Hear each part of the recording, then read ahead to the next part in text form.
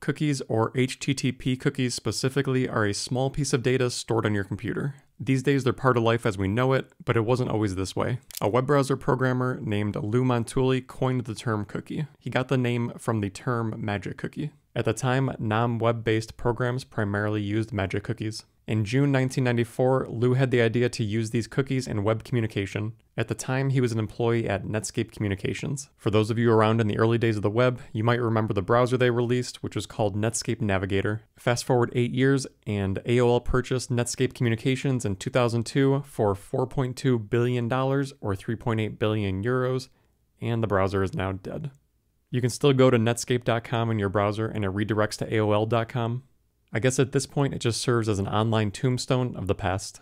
But back to cookies. The first use of a cookie by Netscape was to determine if a user had visited the site previously. Not much was known about cookies at the time, and they were just silently pushed out to users. On February 12, 1996, Financial Times published an article about them. This is when cookies started to gain a lot of attention, specifically for their potential privacy implications. The main reasons for concern was that Netscape placed data on users' computers, they assumed acceptance by default, and the users received no notification. Kind of ironic that 26 years later, the cookie struggle continues. Needless to say, since 1994, cookies have evolved significantly. At this exact moment, you likely have a few of the cookie types I'm about to mention stored in your browser. The first is session cookies. Session cookies have no expiration date set, which indicates to the browser that these cookies should be deleted at the end of the session. Did you ever go to a site without logging in and add something to your cart, and when you visit a different page, the items are still there? Without these session cookies, each page change would cause your cart to be empty, and that would be kind of annoying. The other main use of session cookies is website personalization. So let's say you go to duckduckgo.com, you change the theme to dark, you visit different pages, and it's still the dark theme. That's because of a cookie. If there was no cookie, it would just default to the default theme and your preference would not be saved. So I'm going to give a quick example of this, and if you want to follow along, I'm using Firefox. So if you go to duckduckgo.com, click the hamburger menu, and then select themes, Going to right click, select inspect. We're going to be using the storage tab. And if we look here at the cookies header and duckduckgo.com, there are currently no cookies present. So let's say we want to change the theme. We're going to go to basic and then we're going to refresh the page. If we go to cookies again and then select DuckDuckGo, we can now see that there's a cookie present. So cookies have a key value pair. So here the key is AE. I actually don't know what that stands for but the value is B. So just guessing from what the names mean on here, we can see B, I'm guessing B is for basic. So let's say we want to change to the terminal theme, but we don't want to click through the browser.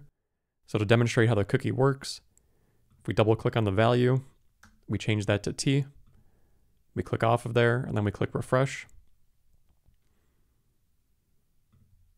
Go back to the cookie again. We can now see that the value of T has told the browser that we want to use the terminal theme, and we manipulated the setting using just the cookie value. And that same thing works for the other preferences on here. If we go to C, that should be contrast, refresh the page, and we can now see that contrast is selected.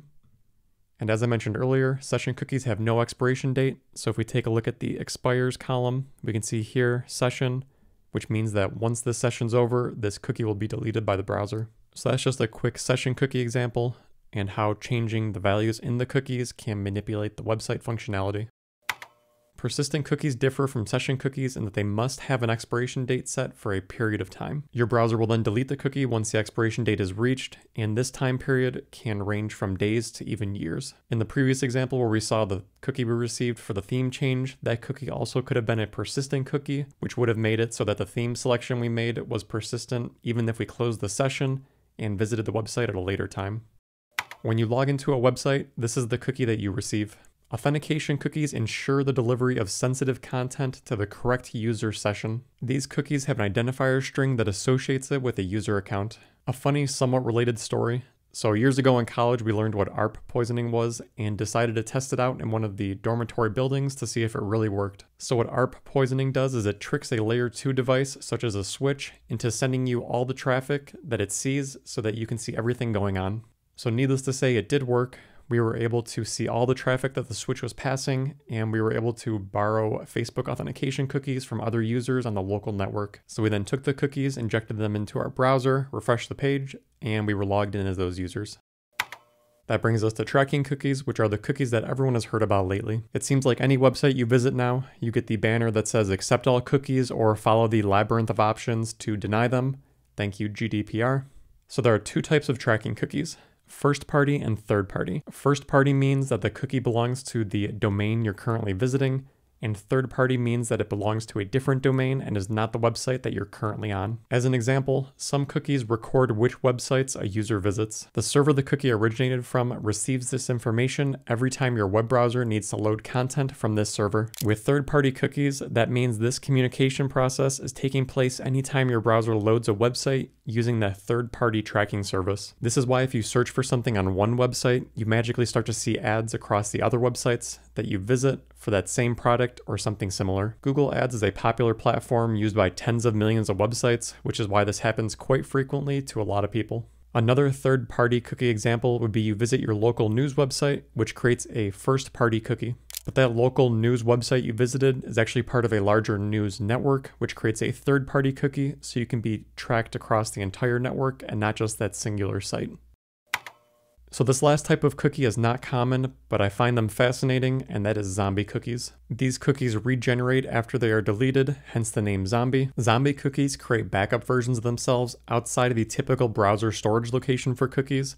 This allows them to then recreate themselves after they've been deleted. You shouldn't see these types of cookies used with any reputable websites that you visit. These are typically used in shady situations where whatever you're looking at isn't exactly legal to begin with, and your privacy is not the website owner's main concern. So with that overview of cookies, it's easy to see how this small piece of data could affect your privacy. Besides the fact that these services are collecting your data, you as the user also lack control over what these services do with your data after they collect it. There are some privacy laws that govern the use of personal data, but at the current time, these primarily apply in the EU. This is why you now see that banner when you visit websites. Users must now agree to cookies unless they are strictly necessary for the website to function. The first is blocking third-party cookies. Most browsers have a setting to block these, and it's a good idea to either enable it or make sure it's enabled. I'll leave a link below to my website with some guides on how to check this in popular browsers. The second is using a plugin called Cookie Auto Delete.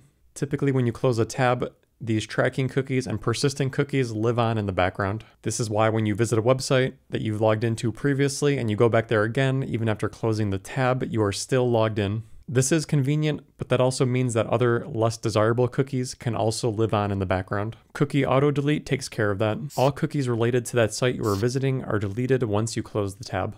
Since that means all your authentication cookies will also be wiped, that means every time you visit a website you previously logged into, you'll have to log into again, which can be a little annoying at first. The plugin does offer the ability to allow certain website cookies to remain after you close the tab, but personally I just let it wipe all cookies and don't worry about it.